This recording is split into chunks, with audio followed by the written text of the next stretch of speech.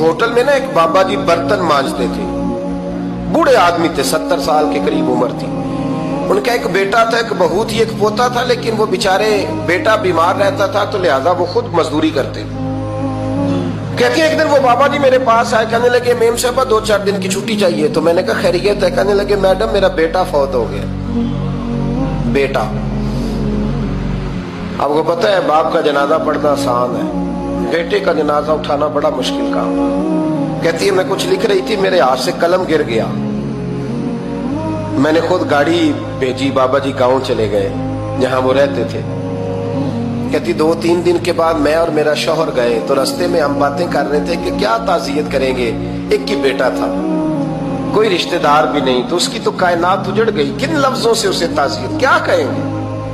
कहते, जब हम गए तो वो टूटी हुई चटाई पे बैठा था। कुछ लोग करीब थे। हमने जाके कहा, बाबा, आप मुसलमान हैं, हम आपको क्या नसीहत करें? एक ही बेटा था कि किस तरह करके हम आपको तसली दें? तो कहते उसने आँखें खोली, बूढ़ी आँखों में ईमान की रोशनी। कहने लगा, बीबी, क्या ताजियत की बात करती हो? मैंने को पैसे जमा करा के बेटा लिया था। खुदा ने फजल से दिया था, अदल से ले गया है। मैं अपने रब के फैसले में बड़ा राज़ी हूँ। अल्लाह अकबर। वो खातून कहती है कि वो बाबा जी से मैंने कहा कि चलो आप एक महीने की छुट्टी कर ले। तो कहने लगा, नहीं मैडम, मैं मुसलमान हूँ, मुफ़्त की रोटी नहीं खाता। मजदूरी करके खाता हूँ। मैं इंशाल्लाह दो तीन दिन के बाद काम पे आ जाऊँगा। कहती, वो चंद दिनों के बाद आ गया। अल्लाह की कुदरत के अभी दो तीन माह गुजरे थे, फिर आया। मैडम, छुट्टी चाहिए कुछ दिनों की। मैंने कहा, खैरियत कहने लगे, वो मेरी बहू भी हार्ट अटैक से फौत हो गई। कहते, अब मैं भी तड़प गई और ईसाई हो कि मेरी आँखों में आँसू आ गए। मैंने कहा, घर का दरवाज़ा बंद हो गया। अब ये बेचारा क्या करेगा? वो अपने शौहर के गम में हार्ट अटैक से फौत हो गई। कहते, हम फिर दो तीन दिन के बाद ताजियत के लिए गए। फिर टूटी हुई चटाई। बूढ़ा ना अपनी उंगलियों से ज़मीन पर कुछ बना रहा कहती, करीब गई और मैंने जाके कहा, बाबा, अब तो तसल्ली आपने खुद ही करनी है। जो निज़ाम था वो तो हो गया तो कहते हैं, फिर उसने आँखें खोली, आसमान की तरफ़ देखा तो कहने लगा, बेटी, कोई परेशानी नहीं। मेरा बेटा बगैर शादी के भी तो फौत हो ही सकता था।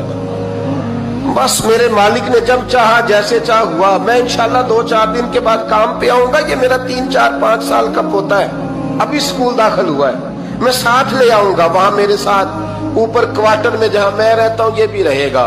कभी कभी मैं देखती छत पे खड़े होके कि दादा घोड़ा बना हुआ है और पोता सवारी कर रहा है। वो सवेरे उठता, उसको स्कूल छोड़ के आता, शाम को लेके आता, प्यार करता, मोहब्बत करता। तीसरी मंजिल पर हमने क्वार्टर दिया हुआ था, वहाँ दादा पोता रहते, अल्लाह, तू बड़ा बेनियाज है। कहती है, इकबाल, एक दिन ना पोता ऊपर वाली मंजिल पे खेल रहा था, उसका पैर फिसला। वो गर्दन के बल ज़मीन पे गिरा। मुझे खबर हुई तो मैं दौड़ी, एंबुलेंस मंगाई। खून से लिथड़े हुए उस बच्चे को दादे ने अपनी गोद में रखा। और जब हम अस्पताल की तरफ़ गए तो हॉस्पिटल बाद में आया, जनाबे इसराइल पहले आ गए। और कहते वो गोद में दम तोड़ गया। फिर दादे ने उसे अपने हाथों से गुसल दिया। फिर उसने अपने बूढ़े हाथों से कब्र खोदी। और फिर मिट्टी डाल के कहने लगा, इन्ना लिल्ला है वन्ना इलैहि राजिऊन। जे सोना ही मेरे दुख विच राज़ी, जे सोना ही मेरे दुख विच राज़ी, फिर सुख नु चुल्ले डावा। कहते, वो मिट्टी डाली उसने, और जब वो वापस पलटा तो मैं बाजू से थाम के होटल करीब लाई। और मैंने उसके करीब कहा कि, बाबा, तू टूट गया है, तू बिखर गया है। तो कहते, यूँ उसने हाथ रखे और यूँ आँसू छटक दिए। कहने लगा, मैडम, क्यों? क्यों? मेरे अंदर कोई अकीदा नहीं? मैं कोई लवारस हूँ? मेरा कोई रब नहीं?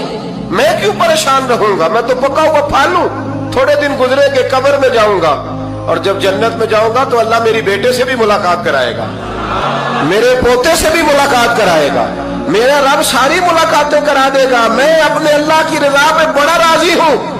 वो खातून कहती है, मेरा और मेरे शौक का कलेजा फटने लगा।